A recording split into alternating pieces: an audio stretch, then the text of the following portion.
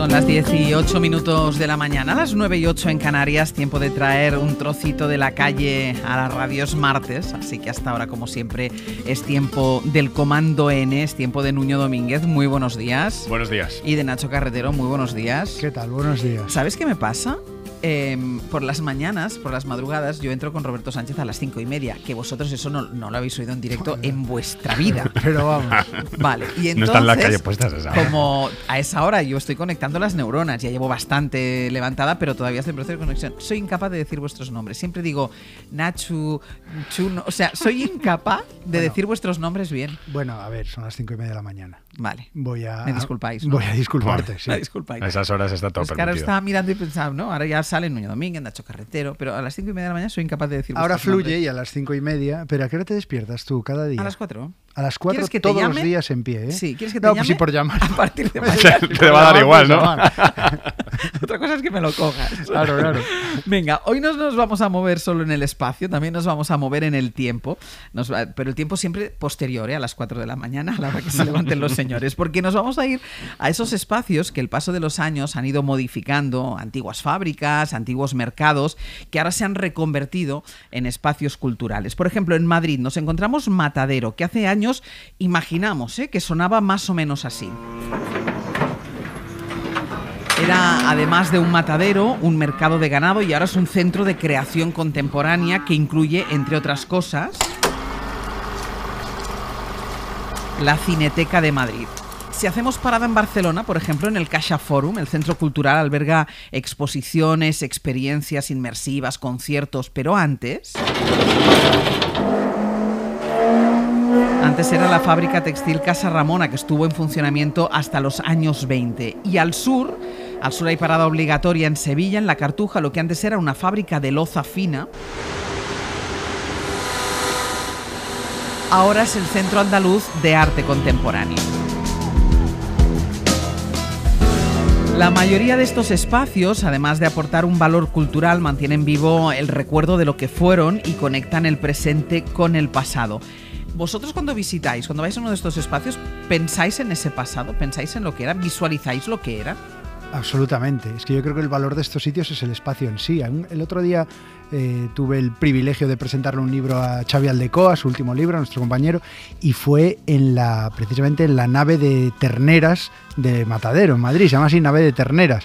Claro, estábamos ahí presentando el libro con un montón de gente y decía, aquí, bueno, esto era una cadena de matanza de terneras, De terneras. que cuándo vas a estar tú ahí dentro. O el otro día en, en Coruña, una parte del puerto, eh, la han convertido en una, en una zona de exposiciones y los silos, unos silos de almacenaje que almacenaban gas, creo que era, eh, o hidrógeno, bueno, no, lo sé, no, no me pidáis no, no me, tanto. no me mires a mí, que yo tampoco lo sé.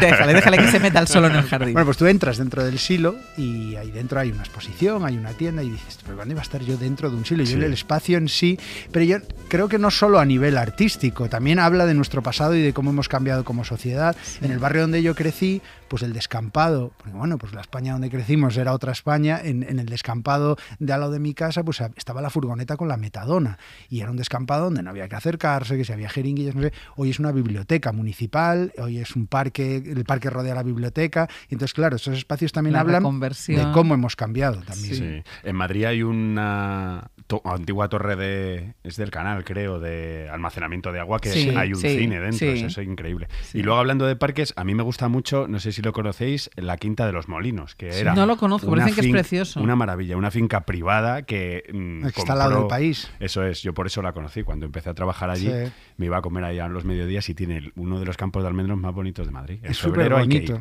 muy y bonito, antes era una finca de, un- de gente con, de dinero y Una ahora es gente un parque para todos. con posibles. A mí de todas formas me pasa incluso con, con las calles. Yo que vivo cerca de la zona del rastro, eh, siempre pienso en la ribera de curtidores y todo eso. Pienso en cómo debían Sí, ser sí. eh, cuando pasaba por ahí el ganado, cuando estaban los curtidores de piel. O sea, Sí. me parece que la- la- ahí, ahí es donde se ve precisamente la, la evolución. Y yo creo que hubo un esfuerzo en, en este país por reconvertir estos espacios, porque bueno, se podrían haber echado a perder, muchos se habrán echado a perder, pero yo creo que se hizo un esfuerzo en, en este país para reconvertirlos. Sí, y sin embargo muchas veces piensas lo contrario, dices, lo que serían muchas zonas de la ciudad si se hubiera mantenido. Aquí en Madrid, si pasas por el Paso del Prado, al principio de la Castellana, y dices, los palacios que había ahí, Sí. que ahora ves unas armatostes Sí, de vez en cuando, sí, si se hubiera hecho un pelín de esfuerzo.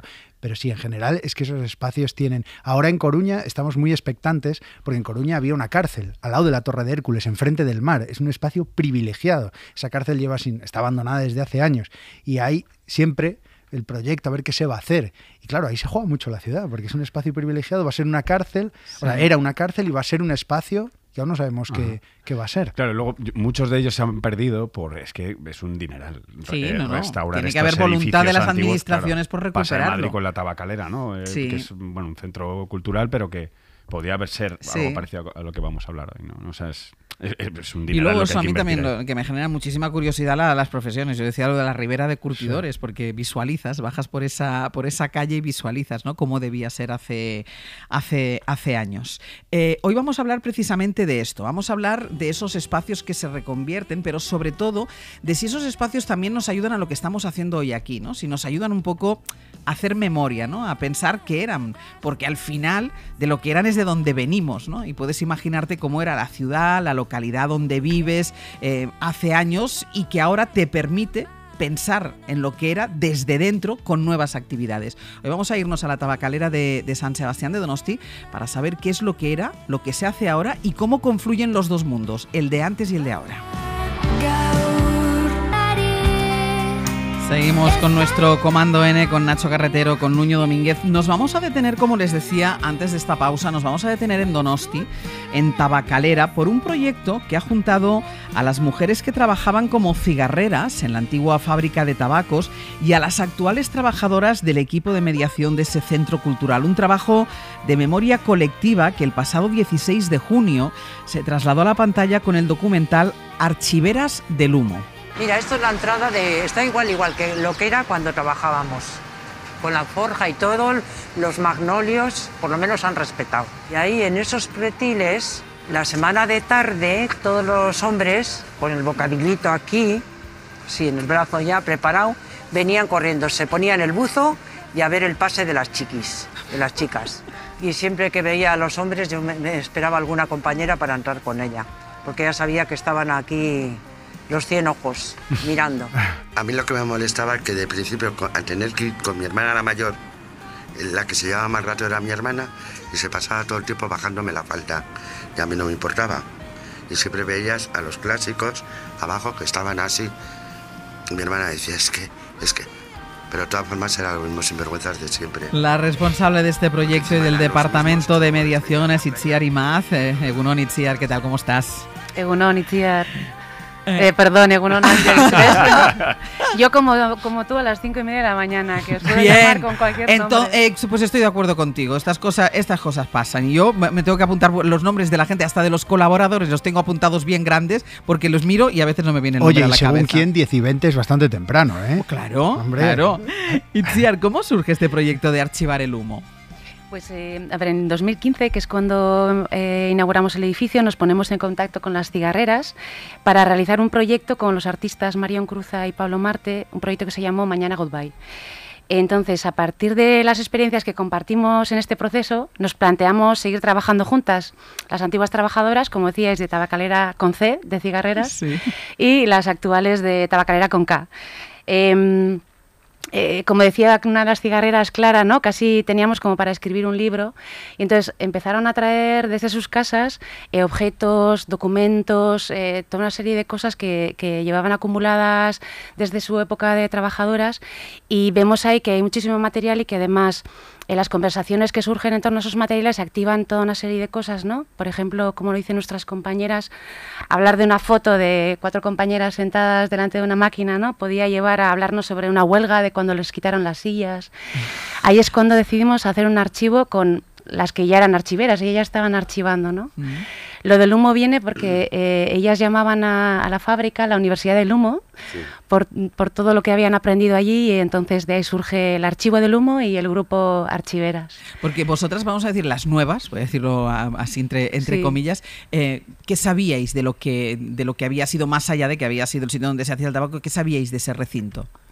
Eh, claro, eh, antes de que se abriera el edificio ya llevábamos trabajando desde el 2013, intentamos establecer conexión con el contexto, pero quizás sabíamos más aquello que, digamos, lo que es como la historia oficial, ¿no? El Sí. relato como más que queda ¿no? Eh, recogido, ¿no? Una cosa más histórica, digamos, sin esa parte vivencial, biográfica que luego hemos podido conocer gracias a las cigarreras. Y en este proyecto Itziar habéis encontrado apoyos suficientes y sencillos, os habéis encontrado obstáculos y eh, también sencillos y suficientes. Em, claro, llevamos... eh, Te lo pregunto porque de- antes estábamos hablando justo de que este tipo de iniciativas se encuentran muchas veces con el apoyo, pero también con la resistencia de ciertas ideas o, Depende o- de quién o gobierne. personajes que, que no están muy a favor de estas recuperaciones. En nuestro caso no ha ocurrido. Eh, eh, seguimos aprendiendo juntas, nos reunimos ¿no? desde 2016 una vez al mes, a veces más a menudo.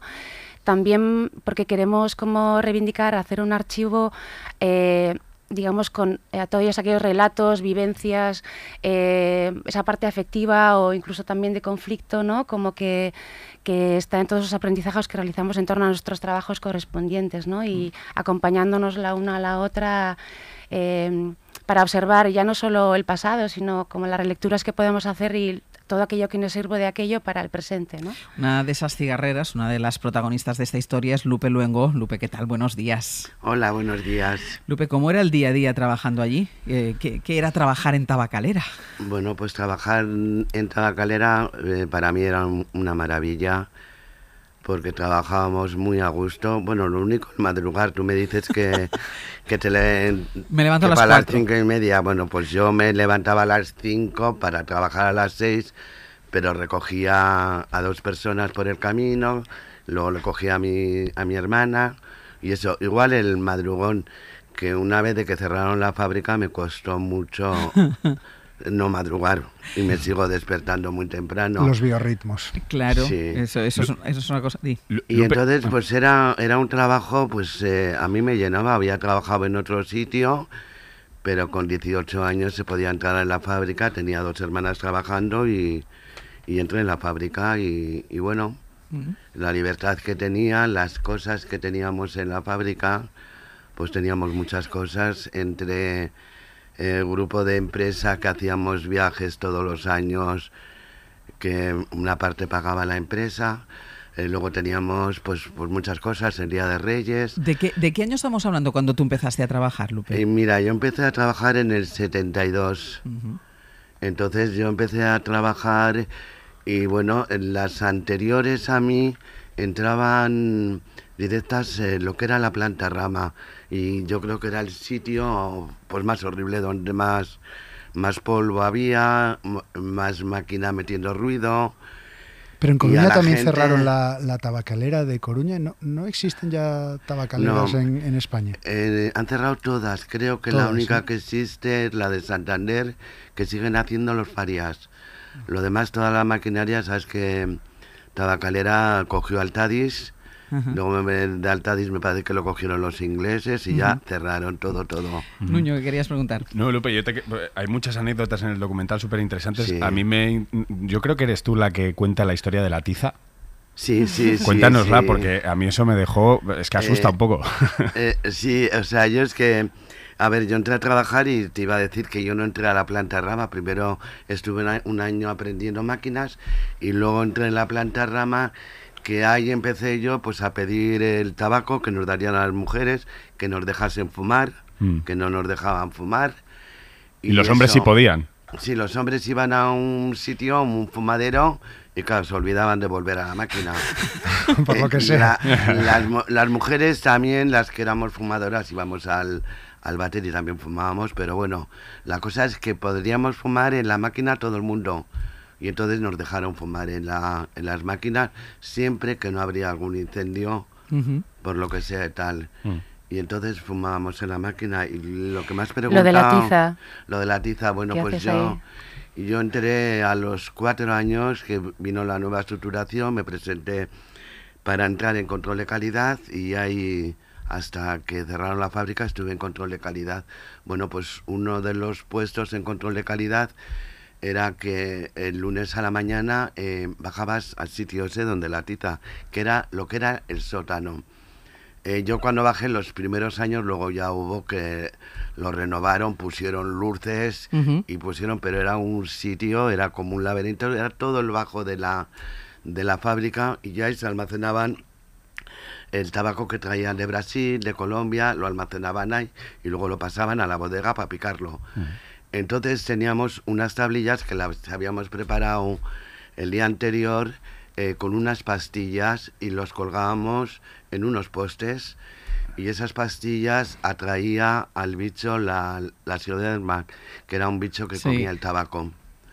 Entonces luego había que ir a recogerlas, ibas con una caja y tal.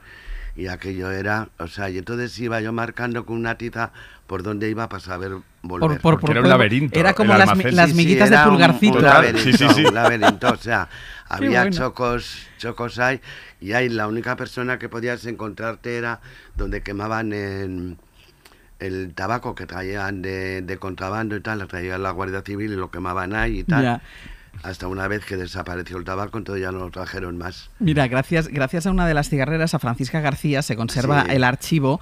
Eh, de todas Sí. formas, ella fue invisibilizada. Eh, quiero que escuchen Sí, esto porque es un fragmento del documental. Eh, gracias a una carta se conoce su historia. Quiero que sepas que admiro a Sada, ya que es un gran trabajador en la historia de Donostia. Pero hubiera sido bonito dar una oportunidad y tiempo a un cero dentro de la empresa. Pero licenciada en historia, que con esta quijotada pretendría abrir caminos a otros.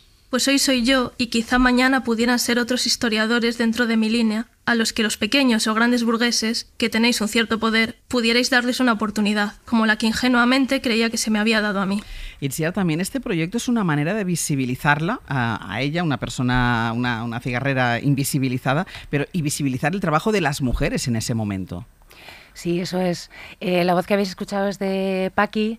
Eh, eh, sabíamos el trabajo que había hecho archivando el material de- eh, cuando existía Tabacalera con C, la fábrica de tabacos, pero descubrimos la carta, no sabíamos dónde estaba, la descubrimos en una de las visitas que hicimos al archivo provincial de Oñati buscando material y fue la chispa que nos ayudó a seguir, ¿no? encontrar su carta y sobre todo saber de la manera en la que había ella como a- eh, archivado los materiales, ¿no? dando valor a las anécdotas, a lo vivencial o lo biográfico. ¿no? Eh, al final, como que eh, ya habíamos empezado nosotras con el archivo del humo y como que ¿no? Daba sentido, justo como habla en la carta, ¿no? de, de lo Mm. que estábamos haciendo. Y más allá de- de- del testimonio de ellas, de, de la carta, por ejemplo, eh, contabas antes que habíais ido reuniendo eh, objetos domésticos, cosas que no están en los archivos oficiales. ¿Qué cosas os habéis encontrado o qué cosas se Pues- han aportado a este archivo? Mira, una de las cosas es el contrato de, de trabajo, pues yo llevé el de mi hermana la mayor, el contrato, y entonces a diferencia de los, de por ejemplo, del contrato mío, de cuando entré yo, o sea, yo con mi hermana me llevaba 18 años. Sí. Entonces en el primer contrato lo que ganaban, eh, que no se podía, no te podías quedar embarazada, tampoco te podías casar. Eso ponía el contrato. Eh, sí. O sea, si tú entrabas a trabajar y resulta que te quedas, eres soltera, te quedas embarazada, salí, y te mandaban a la calle. Y dentro del contrato también venía que hasta que no pasaría un año no, no te podías casar. Mira. Y Es que luego justo ya el contrato mío ya era distinto. O sea, Ya. ya incluso han entrado mm, chicas solteras con hijos, han entrado en la fábrica. Claro, Nacho, es que justo eh, eh, le iba a preguntar a Itziar eh, sobre que la importancia también de este tipo de proyectos para las generaciones nuevas, para la gente más joven, para los niños, y justo pone el ejemplo del contrato Lupe, de que también sean conscientes, ¿no, Itziar, de, de cómo han cambiado las cosas, de cómo eran antes las cosas y hacia dónde, hacia dónde vamos. No sé si vosotras también hacéis esta reflexión. Sí, claro, por supuesto. Hemos hablado muchísimo estos años sobre esto, ¿no? Eh, al final, las condiciones de trabajo, eh, digamos, el mundo del trabajo en sí mismo ha cambiado muchísimo, ¿no? Es una obviedad, eh, seguro que habéis hablado de esto muchas veces también en el programa. Eh, eh, al final, eh, digamos que eh, han cambiado algunas cosas. eh, por suerte eh, no tenemos nosotras que calentar ningún bocata para nuestros compañeros de trabajo, que es otra de las cosas que tenían que hacer las ticarreras, sobre todo al Sí. principio, o pedir permiso para fumar, ¿no? O, o que Sí. tengan acceso a otro tipo de, de, mm, digamos, retribuciones no, Eh, no en dinero, ¿no? Que se les hacían. Sí. Claro, incluso el comportamiento de los hombres hacia las mujeres. Por ese fragmento que hemos escuchado, ellos se sentaban ahí a comer el bocadillo, a fumar eh, y a miraros a vosotras, Lupe. Sí, sí, sí, no. O sea, era... O sea, comportamientos totalmente machistas. Eh, era, yo, yo creo que, que estaban educados por las mujeres mayores que les tenían un respeto a los hombres. En cambio nosotros cuando entramos, pues de respeto nada. O sea, tú ahí y yo aquí, pero Les, aquí les de criadas, Lupe, nada. ¿les plantabais cara? Sí, sí.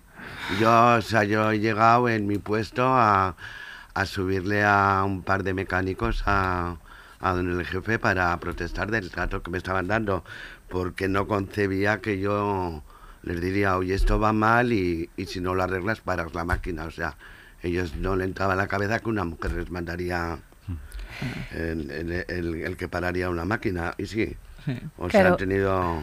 Eh, Itziar. Sí, yo iba a decir que también hemos aprendido mucho no solo de las condiciones de trabajo, sino como de las luchas, porque no tenéis muy buen recuerdo, Lupe, Sí, pero sí, también sí. habéis luchado mucho ahí en todos estos años, juntas además, ¿no? O sea, como en colectivo, que es otro como de los aspectos que nos parece importante en este sentido. Sí, porque si a alguna persona, por lo que sea, le mandaban castigada por lo que había hecho y tal, y le mandaban a casa sin sueldo y tal, lo primero que se hacía Pero esto, era- era- perdona, Lupe, ¿era habitual Sí. que os castigaran?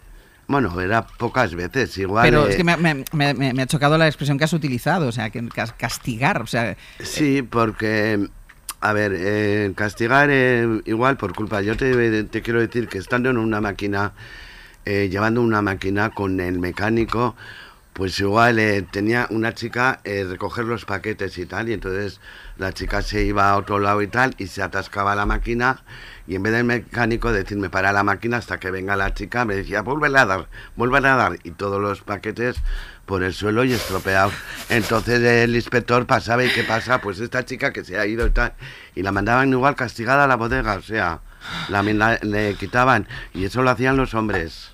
Porque claro, estarían los trabajos también muy segregados entre trabajos de hombres Sí, y trabajos sí. de mujeres. No había. A ver, los hombres estaban eh, llevando una máquina que la podíamos llevar porque luego hubo una estructuración que es cuando yo me presenté, pero se presentaron gente para llevar la máquina de jefe de equipo, que eran ellos. Sí. Y una chica lo llevaba estupendamente. Hombre, si había una avería, pues no sabía esto, entonces mandabas a los mecánicos a arreglar la avería.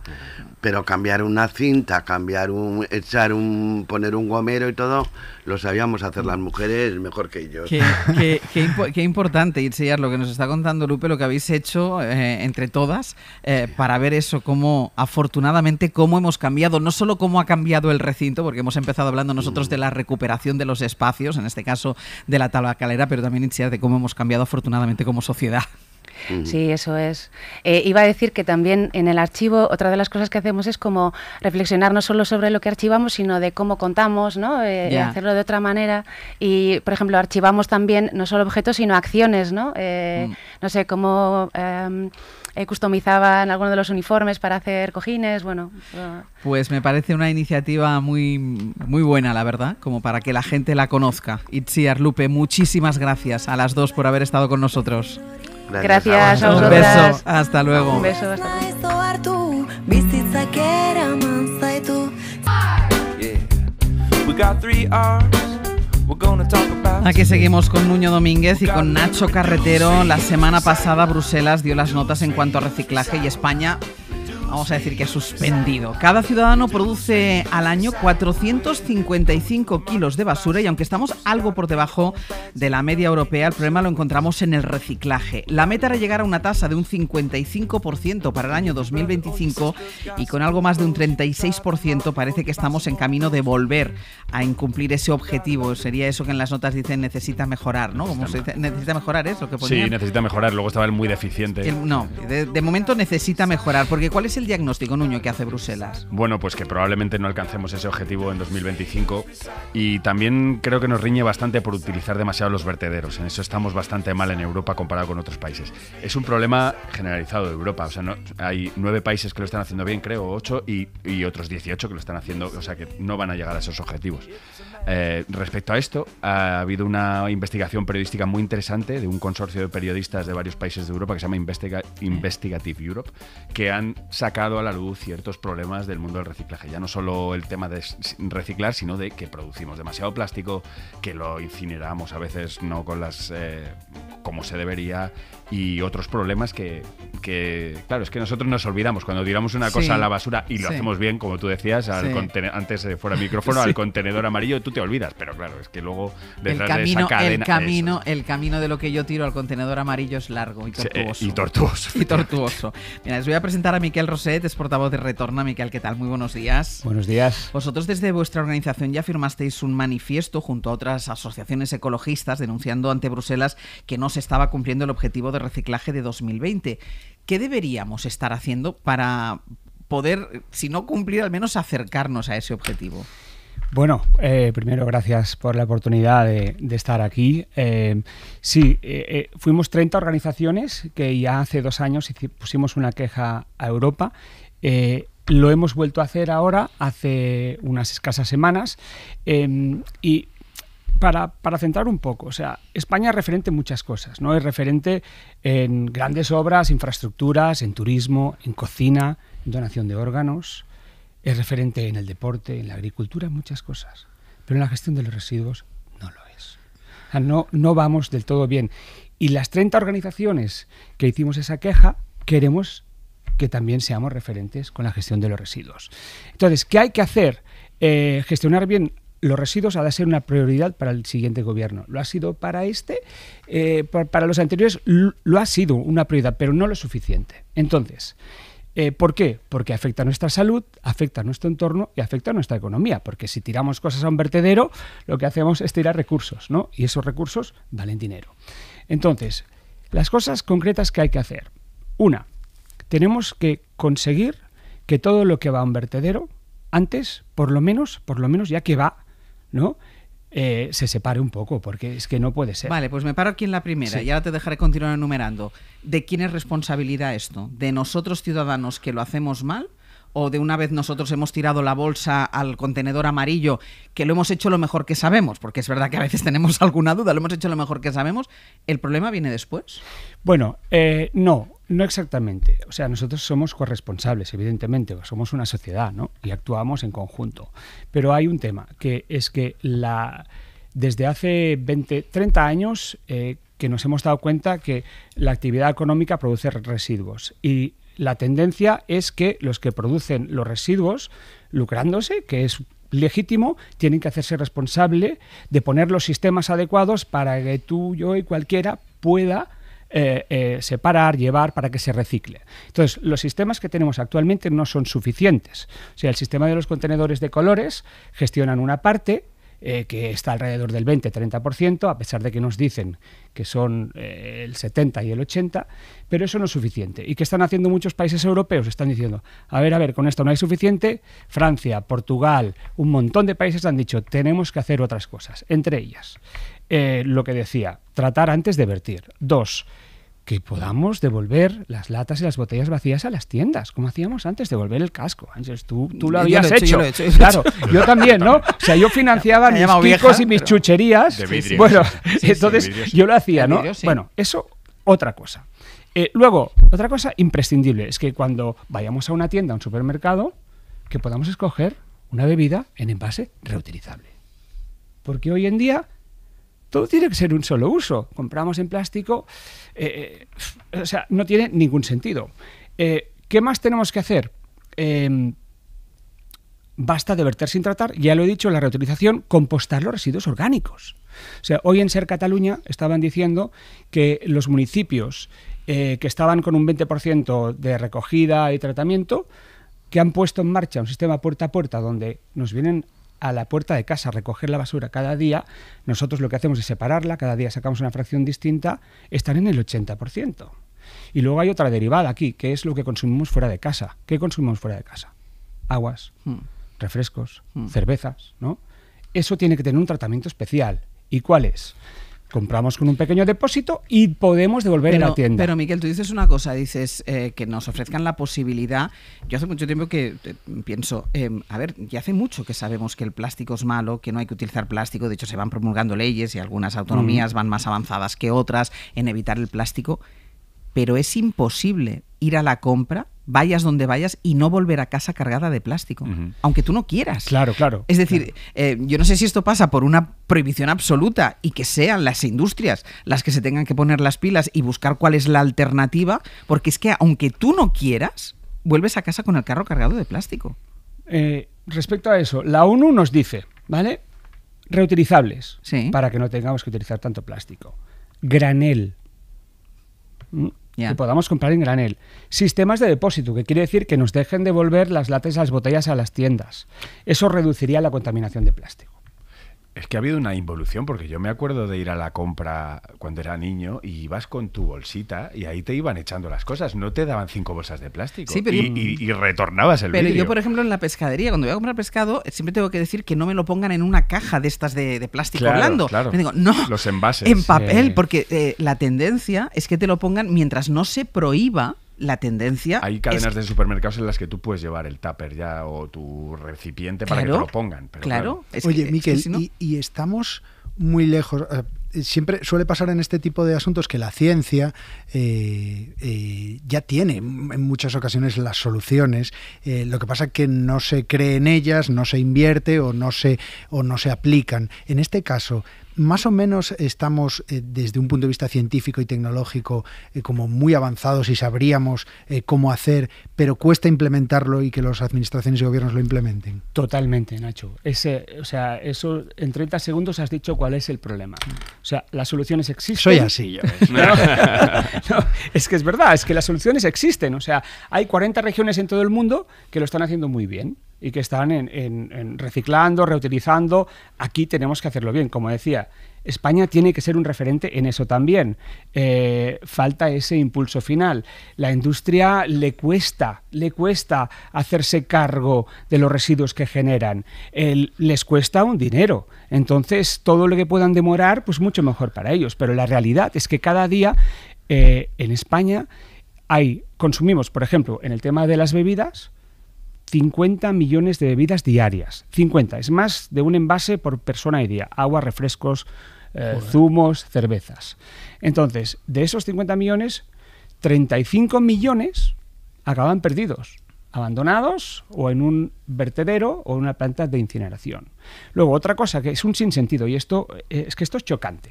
O sea, imaginaros que estáis en casa eh, entráis en casa nueva, tenéis vajilla nueva, tenéis vuestros vasos de vidrio y cenáis, tomáis un vaso de agua y lo tiráis a la basura. Claro, Bueno, eso es lo que hacemos con los botellines de cerveza, ¿eh?